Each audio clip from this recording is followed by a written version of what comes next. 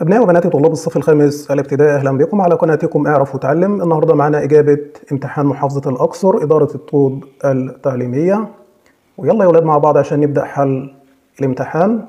فأول حاجة بيجي في الامتحان هو نص الاستماع. بعد كده بيجي باقي الأسئلة. فيلا مع بعض نسمع مع بعض نص الاستماع ونقراه وبعد كده نحل الأسئلة. في يوم من الأيام وضع أحد الملوك صخرة على الطريق. فمر عليها بعض التجار الأغنياء ولم يبعدوها وأكملوا السير. يبقى في يوم من الأيام يا أولاد أحد الملوك وضع صخرة على الطريق. فبعض التجار الأغنياء مروا على الصخرة دي وسابوها مكانها ولم يبعدوها وأكملوا السير. ومر عليها العديد يعني الكثير من الناس ولم يحاول أحدهم إبعادها. وكمان مر عليها كتير من الناس وما حاولوش إن هم يبعدوا الصخرة دي من الطريق. والقوا اللوم على الملك. يبقى القوا اللوم على مين؟ على الملك. حتى جاء فلاح يحمل حملا من الخضروات. وعندما اقترب من الصخرة وضع حمولته وأبعدها عن الطريق. يبقى لحد ما جه فلاح بسيط شايل حمل من الخضروات ولما اقترب من الصخرة وضع الحمولة بتاعته وشال الصخرة وأبعدها عن الطريق. فوجد تحتها مالا. لا تحتها مال. ورسالة من الملك. ورسالة من الملك. يبقى لقى مال ورسالة من الملك بيشكره. ومش بيشكره لذاته لا بيشكر أي حد شال الصخرة من وسط الطريق. ويقول إن المال للشخص الذي يزيل هذه الصخرة من الطريق. المال اللي تحت الصخرة دي للشخص اللي هيشيل الصخرة من وسط الطريق. وبعد ما سمعنا نص الاستماع هنحل الأسئلة اللي موجودة. أول سؤال معانا بيقول اختر الإجابة الصحيحة ما بين القوسين. الذي أزال الصخرة هو الفلاح الملك أحد الرجال الأغنياء. يبقى الإجابة تكون إيه؟ الفلاح. يبقى الذي أزال الصخرة هو الفلاح.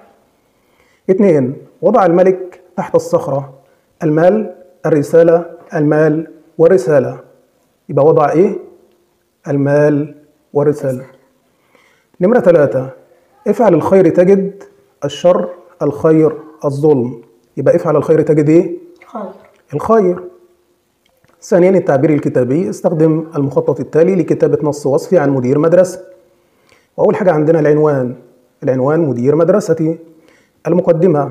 الإدارة فن لا يجيده كل الناس ونحن في مدرستنا. مدير فاضل يحبنا ونحبه يحترمنا ونحترمه. بعد كده وصف الشكل الخارجي. شخص طويل القامة عريض الجسم ذو وجه أبيض وشعر أسود قاتم له عينان بنيتان. دي بالنسبة للوصف الخارجي. الوصف بتاع الشخصية صفات الشخصية. شخص صبور يعامل الطلاب معاملة حسنة ولديه يعني عنده معلومات في شتى المجالات. الخاتمة. مهما قلت في وصفه فلن أوفيه حقه فهو من أكثر الأشخاص الذين أحبهم. أولاد طبعا نص وصفي عن مدير المدرسة بيتكون من العنوان والمقدمة ووصف الشكل الخارجي والصفات الشخصية والخاتمة. فيلا مع بعض عشان نكتب نص وصف مدير المدرسة اللي معانا النهارده. أول حاجة معنا العنوان مدير مدرستي. المقدمة الإدارة فن لا يجيده كل الناس ونحن في مدرستنا مدير فاضل. يحبنا ونحبه ويحترمنا ونحترمه. فهو شخص طويل القامة عريض الجسم وجه أبيض وشعر أسود قاتم له عينان بنيتان وده وصف الشكل الخارجي. أما عن صفاته الشخصية فهو شخص صبور يعامل الطلاب معاملة حسنة ولديه معلومات في شتى المجالات دي الصفات الشخصية. آخر حاجة الخاتمة. فأقول فمهما قلت في وصفه فلن أوفيه حقه فهو من أكثر الأشخاص الذين أحبهم. ثالثا النص الأدبي. اقرأ ثم أجب. هناك نوعان من الجمال. يبقى في نوعين من الجمال. جمال شكلي جمال الشكل وهو الجمال الذي يلاحظه الجميع عندما ينظرون إليك. يعني الجمال اللي بيلاحظه الناس لما بيبصوا لك.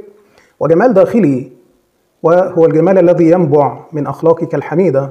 الجمال اللي إيه؟ بيبقى موجود في أخلاقك الحميدة وصفاتك الحسنة. وهناك فارق كبير بين النوعين. في فرق كبير بين الجمال الخارجي والجمال الداخلي. فالجمال الشكلي متغير بتغير العمر. جمال الشكل بيتغير بتغير العمر. فإنه يزول يعني ينتهي عندما يكبر الإنسان. الجمال الإيه؟ اللي هو بتاع الشكل ده بينتهي لما الإنسان بيكبر.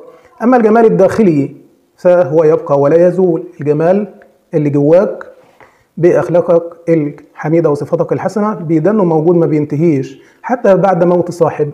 حتى بعد موت إيه؟ صاحب الجمال الداخلي ده حيث يظل الناس يذكرون صاحبه بالكلام الطيب. الناس بدنها تذكر صاحب الأخلاق الحميدة والصفات الحسنة حتى بعد ما بيموت بالكلام الطيب. لذلك عليك عند الحكم على أحد الأشخاص أن تنظر إلى الجمال الداخلي وليس الجمال الشكل. يبقى أنا لما أحكم على إنسان ما أحكمش عليه من الشكل الخارجي أما أحكم عليه بإيه؟ من الجمال الداخلي بأخلاقه وصفاته الحسنة. وبعد ما قرينا النص الأدبي يا أولاد هنحل الأسئلة اللي موجودة عليه. ألف اختر الإجابة الصحيحة ما بين القوسين. واحد معنى ينبع يضيء يتدفق يتغير يبقى الإجابة هتبقى إيه؟ يتدفق. يبقى معنى ينبع يتدفق. اثنين مفرد صفات صفة وصف صف يبقى مفرد صفات إيه؟ صفة. صفة. باء ضع علامة صح أو خطأ أمام ما يلي. الجمال الداخلي هو الجمال الذي يلاحظه الجميع عندما ينظرون إليك. غلط. غلط. طبعا إيه الجمال الداخلي؟ هو الجمال في الأخلاق والصفات الحسنة. الجمال الشكلي هو جمال متغير وقد يزول عندما يكبر الإنسان. صح. طبعا صح.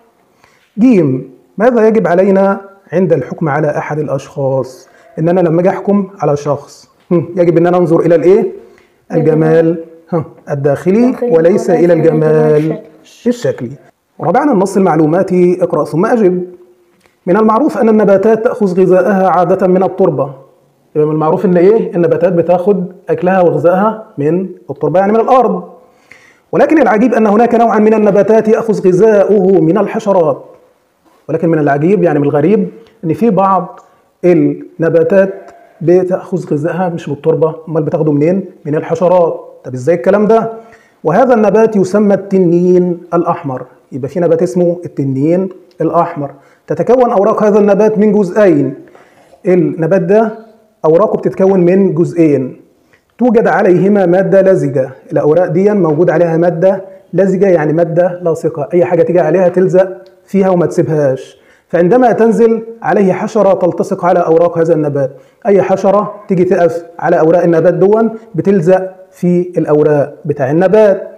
وينغلق عليها الجزآن ويقفل عليها الإيه؟ الجزآن بتاع الأوراق. ثم يقوم النبات بهضمها. النبات بيهضم الإيه؟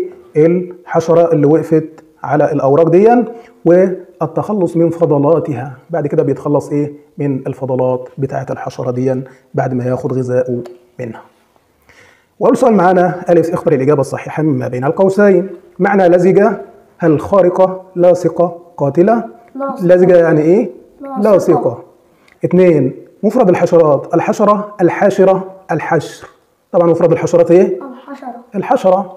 ثلاثة تتكون أوراق نبات التنين الأحمر من جزئين ثلاثة أجزاء أربعة أجزاء. من إيه؟ من جزئين.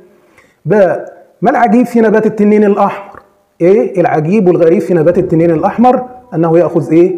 غذاءه من الحشرات وليس من الأرض أو التربة. خامسا النص الشعري اقرأ الأبيات ثم أجب. رأيت معلمي مصباح رشد يضيء طريقنا في كل يوم. جليل القدر للطلاب شمس بدا كالنيل يحيي قلب قوم.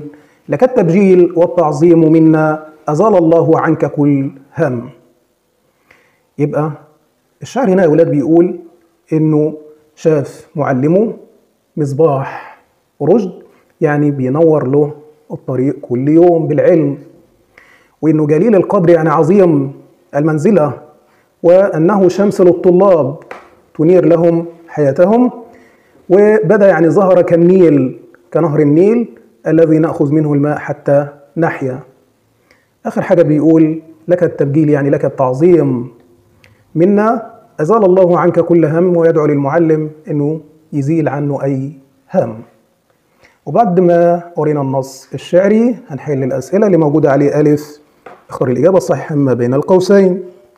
معنى التبجيل الاعتدال التعظيم الدعاء. يبقى معنى التبجيل إيه؟ التعظيم. تعظيم اثنين معلمي مصباح رشد.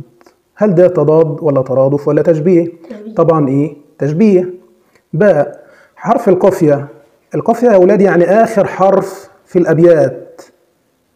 الذي يعطي إيقاعا موسيقيا في الأبيات هو حرف الميم. الميم. أهي يوم قوم هم. كلهم بينتهوا بحرف. الميم. سادسا القواعد النحوية اقرأ ثم أجب.